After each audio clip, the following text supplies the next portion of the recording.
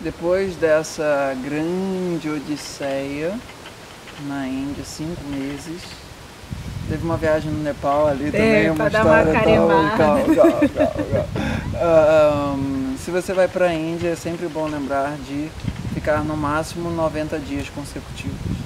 Bom, aí chegamos a Sinharashi, que é Leão Sideral, e chegamos de volta ao Brasil. Hum. Bum. E agora?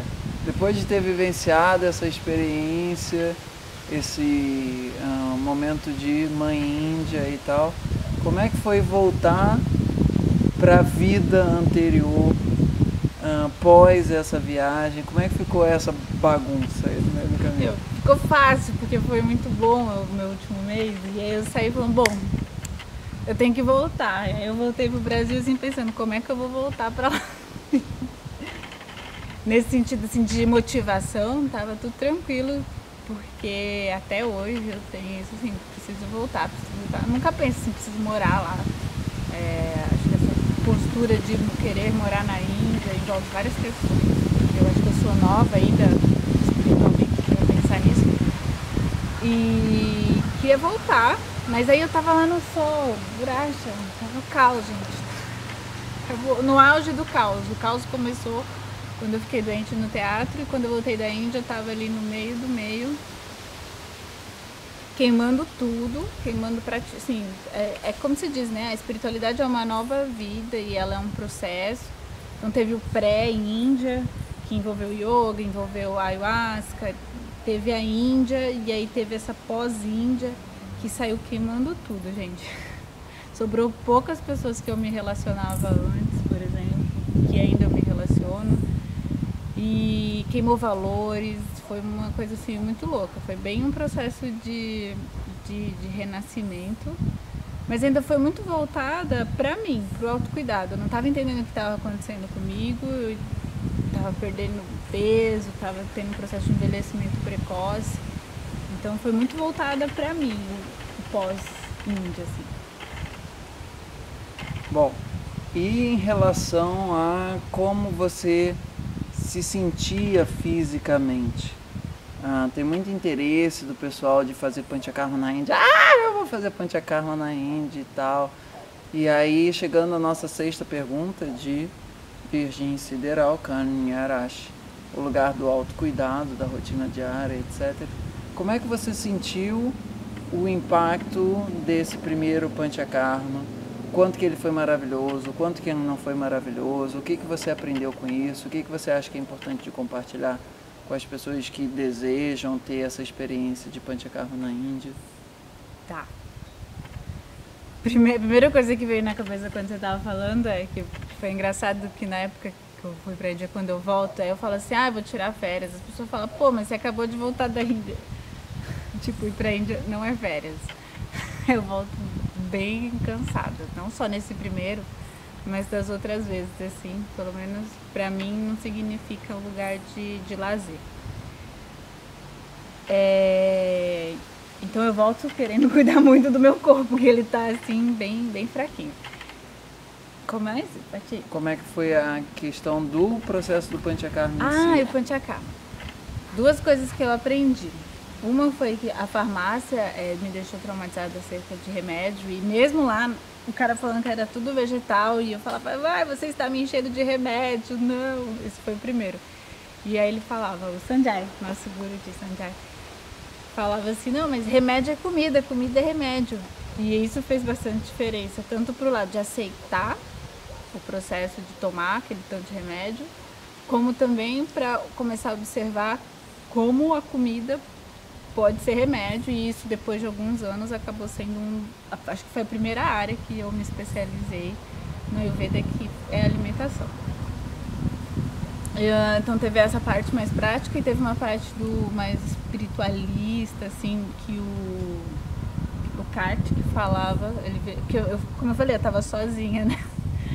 E o pessoal lá foi muito legal, às vezes eles vinham conversar comigo, assim, me fazer companhia. E onde é que você fez esse Panchakarma? Foi no Kerala Ayurveda. Onde é que fica isso? Fica a Lua, perto de Cotinhas, na Colã. Uh, os médicos que, que, eu tive essa vivência não estão mais lá. O Sanjay fez a passagem ano passado e o Kartik agora foi para um, foi um outro espaço de Kerala Ayurveda, em Bangalore. Mas eles foram muito especiais. Imagina, meu primeiro Panchakarma, o Sanjay é devoto também. Eu morria de tipo, ai, tem um devoto aqui. A gente cantava mantra no pôr do sol, assim. Foi abençoado meu Panchakarma. E aí o Kartik me ensinou a questão do sofrimento, assim da onde vem o sofrimento, assim, porque você está sofrendo porque está doente. Ele descolou a relação da doença do sofrimento e apesar de eu estar com todas aquelas questões físicas acontecendo, eu comecei a, a, a ter esse deslocamento de não sofrer por causa da doença. Assim. Acho que nesse primeiro Panchakama foi esses três processos. Assim.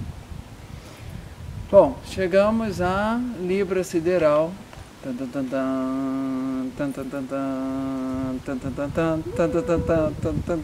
e aí, como é que você casou com o Namastê Oráculo? Namastê foi assim, foi uma história bonitinha. Pode contar? Pode contar. Estamos aqui. O pessoal está perguntando, pô, mas e vocês dois aí? Não estou vendo vocês dois. A gente se conheceu, como eu disse, eu já estava com o pé na Índia quando eu conheci o Thiago, né? E naquela época eu, meu, eu tava quase celibata, eu tava muito focada assim em mim. E o Thiago tava numa outra fase. E fui. E aí quando eu voltei, meu Gurudeva tava indo pro Rio. Depois que eu cheguei, eu cheguei no Brasil meio que em junho e no, no final de julho eu fui pro Rio. E aí eu mandei uma mensagem para ele, ei Namastê, tô aqui na área. E aí a gente se viu. E aí ele falou, ah, então. Vamos casar? Porque antes eu tinha falado pra ele que eu era moça de casar tal. Não, não vem muito com papo de ficar, essas coisas. Eu já, eu já tinha superado essa fase do ficar assim. Não, não tava muito afim de emoção quando a gente se conheceu a primeira vez. E aí já. Quando a gente se reencontrou já foi tipo, e aí, vamos casar? Claro que a gente não casou no dia seguinte, mas foi caminhando assim para esse processo. Bom, Estamos aí... casando até hoje, assim, se for ver. E falando desse processo de mudança, chegamos a, a Escorpião Sideral, Vrshika, com isso, todas as suas um, processos de alquimia, transformações e etc. Como é que foi essa história aí de ir para o Rio de Janeiro, ir para bastante lados nos Estados Unidos, Marma, esse, digamos, essa primeira, essa primeira cambalhota. Gente, casar é uma loucura, né? Quem é casado sabe. Quem não é ainda, se prepare. Porque, tipo, você, descobre que você não dorme direito, por exemplo. Quando eu casei com o Thiago, Thiago, meu, você não dorme. Tentando dormir sozinha, ninguém tinha me contado isso. E com o Thiago, nosso primeiro ano novo junto, ele já estava estudando um pouco de marma. Foi quando eu descobri que eu tinha mãos com alguma coisa ali é, de diferente. Já tinha aparecido no ritual assim, de ayahuasca antes, mas eu nunca tinha entendido esse processo. Eu descobri nesse ano novo que ele a gente brincou um pouco de mármore e o Thiago falou: Nossa, minha mão meio que é sozinha pro mármore, eu nunca nem tinha ouvido falar aqui que era isso.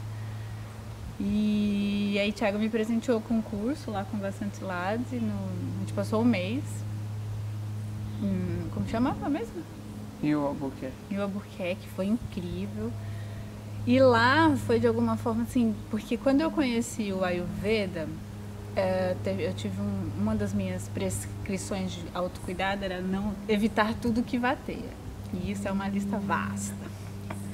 E eu radicalzona assim, desesperada, eu cortei tudo e eu tava, por exemplo, sem comungar ayahuasca, fiquei uns dois anos assim, afastada. E quando eu fui em Nova Albuquerque, lá tem uma tribo, lá tem, tem energia xamânica, assim, bem forte. E lá foi quando eu senti uma, um, um religar nesse sentido, assim, com, com o meu processo do xamanismo, conectando com o Ayurveda. E lá nasceu o Holy Ayurveda, que hoje em dia é um, um é um nome, uma marca que está mais voltada para o conteúdo em inglês, pouco desenvolvida ainda, mas um dia a gente chega lá, ainda arrumando aqui o português.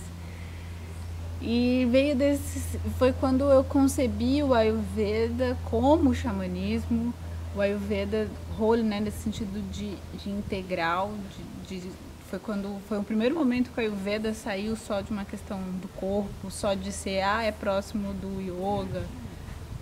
A gente vai chegar lá, né? Pra